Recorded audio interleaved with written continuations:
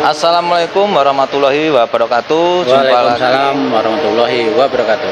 jumpa lagi di channel Raden Sasongko Brunei.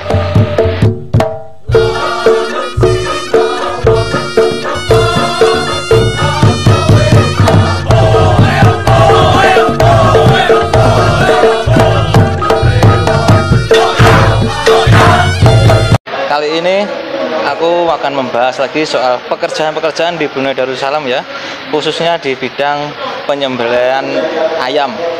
Dan ini sudah ada langsung temanku yang kerja di bagian itu. Kita mau tanya-tanya soal sistem kerja, cara kerjanya di situ gimana, dan soal gajinya itu berapa. Langsung saja kita tanya-tanya sama Pak Eko Mujiono Channel. Gimana Pak Eko? Kabarnya hari ini? Alhamdulillah kabarnya baik. di hari raya yang pertama. Iya. Minal aidin juga Pak Eko ya. Ini lagi Bapak izin juga, mohon maaf lahir dan batin. Oke, Semoga kita semua selalu dalam sehat lindungan Allah Subhanahu wa taala. siap siap. Gini Pak Eko, aku ini mau tanya-tanya soal pekerjaan Pak Eko itu apa ya di Brunei Darussalam itu? Penyembelihan ayam tuh gimana gitu? Ya. Ya perkenalkan saya nama Eko Mujiono Channel ya. Eh, Itu ada saya YouTube-nya ya. Bekerja di Brunei Darussalam yaitu alhamdulillah job saya di bidang eh, penyembelihan ayam, pemotongan ayam ya guys ya. Pemotongan ayam yang di Brunei.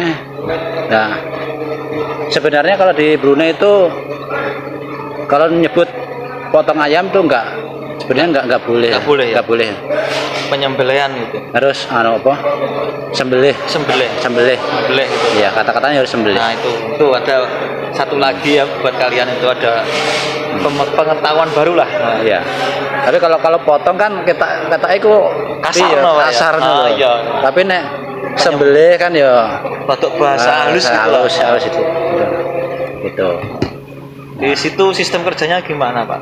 Sistem kerjanya ya kita gaji bulan ya. Gaji bulanan. Gaji bulan kerjanya. Ya, Hariannya eh, maksudnya gaji Harian. bulanan seharinya itu dapat berapa biasanya? kalau sing oleh hari apa itu maksudnya kerja kerjanane apa duit ya? Kerjaannya ya. kerjaanane Ah. Kalau ayam nggak nggak nggak nentu ya kerjaan Iya. kan ayam kan kadang ya banyak kadang sedikit gitu Berarti ya kita jam tinggal kerjanya tuh beda-beda gitu. jam kerjanya Apa sama? kita tinggal ini kalau ibaratnya ayamnya itu sedikit ya kita cepat pulang itu aja. Oh tergantung ayamnya. ya tergantung ayamnya kalau ayamnya sedikit ya ayam sudah habis ya langsung pulang gitu aja. istirahat Ada, ada kayak apa itu lemburannya gitu ada Pak ya? Leburan pasti ada. Overtime-nya itu. Nah, overtime pasti ada. Itu kita sekerja itu pagi dari jam 7 ya. Ya. Dari jam 7 setar sampai jam 12 siang. Oh setengah hari ya. Setengah hari. Nah, nanti kalau misalnya petang ada lagi ya kerja lagi. Itu Misalnya masuk overtime. masuk overtime gitu. Gajinya tuh ada tambahan overtime-nya ya. Ya enaknya di situ kalau di Brunei kerja di Brunei guys, ya. Walaupun kata orang ini ya di Brunei itu gaji- gajinya kecil ya mas ya, Kecil, gajinya kecil. Tapi ada overtime-nya ada, jadinya ya lumayan buat Bisa tambah. buat nambah-nambah beli pulsa lah. Nah, ya kalau buat beli pulsa ya lebih lah mas. Lebih kan ya? Lebih buat makan juga lebih. Oke, berarti Gitu. berarti sebenarnya tuh gajinya emang sedikit, Sedikit. tapi overtime-nya tuh Ya. lumayan.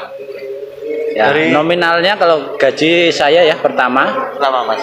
masuk di Brunei itu di tempat saya bekerja itu 350 Oh, berarti sama rata-rata sopir ya segitu. ya 350 dolar Brunei ya guys ya. Ya kalau dirupiahkan ya 3 juta 3 juta setengah lah. Lebih segitu. 3 juta setengah. Kotor tapi ya ya itu a- ada lemburannya itu Kalau di tempat kerjanya Masnya tuh soal makan sama tempat tidurnya gimana? Disediakan tempat kerja tempat buat istirahat lah. tempat kerja tempat istirahat disediakan Mesnya ada. mesnya gratis kita tinggal pakai semua dari fasilitasnya dari listrik semua mesin cuci apa semuanya lah Disediakan. fasilitasnya disediakan Kalau makan Kalau makan kita sendiri lah. Cari sendiri, ya. Iya. Kalau makan kita masak sendiri guys. dari tahun berapa Pak kalau boleh tahu kerja di Brunei ini? Awal masuk di Brunei 2006 ya. 2006. Eh, iya dah. Lama, lama sekali ya Eh, iya 2006 ya. 2006. 2006-an lah ya kurang lebihnya. Pokoknya ya guys ya. Udah tujuh tahun aku di sini. 7 tahun. Iya. 7 tahun sekarang 2002. Berapa sih? 2000 berapa?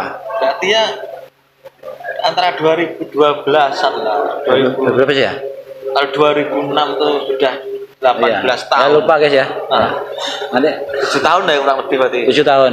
Gak pernah pindah-pindah kerja. Belum, belum pernah. Emang sudah cocok di situ. Oh iya, kalau sudah Cocok. Nanti kalau pindah gajinya dari awal lagi. ya, Terus soal anu Pak, cutinya. Cutinya tuh sebulan sekali apa gimana? kalau cuti kami alhamdulillah ya dari dari PT eh, apa da- dari tempat kerja kami kami dikasih setiap minggu ada cuti setiap hari minggu Setiap hari minggu. setiap minggu ada cuti Wah, alhamdulillah ya. Iya. Masalahnya kawan-kawan di bisa sini istirahat eh, kalau sopir apa amah-amah itu kan Nah. kebanyakan cuti sebulan sekali. satu bulan sekali Bahkan ada yang nggak cuti. iya Kalau seminggu sekali alhamdulillah Ya, kalau aku emang alhamdulillah setiap hari minggu pasti cuti. Nyaman juga itu. Iya. Ya udah ya, kita bincang-bincangnya hari ini sampai di sini dulu dan informasinya tentang apa itu? Jangan pemotongan ya. Penyembelihan. Ayam biar penyembelihan bahasanya ayam. tuh nggak di komplain nanti ya. Sampai di sini dulu. Semoga video ini bermanfaat buat kalian yang mau kerja ke Brunei Darussalam. Jangan sampai kena tipu soal gaji yang katanya puluhan juta itu hoax ya. Ya gini mas ya ada yang puluhan juta berapa tahun di sini tapi ya itu udah lama di Udah sini tahun, iya, gitu. sudah. Tapi kalau- Soalnya di Brunei itu kita ngelihatnya itu jasa kan? jasa Jasa, jasa kerja. bukan kita Berapa lama tahun di bekerja? sini tuh nggak ada Nah, UMR-nya pak Itu. ya? ada Itu guys. Seperti itu ya. Jadi kalian jangan, jangan terkecoh ya. terkecoh sama sama Ejek-ejek yang lah. lain-lain ya sama yang ngomongnya gajinya puluhan juta itu ya Iya. karena kalau pertama kali kalian ke Brunei pasti ya rata-rata gaji standar. standar 350 bisa lebih ya Ya. kalau puluhan juta nggak ada ada sampai di sini dulu ya informasinya Assalamualaikum warahmatullahi wabarakatuh Wabarakatuh. salam TKI Brunei asli Wong Jowo Wong Ponorogo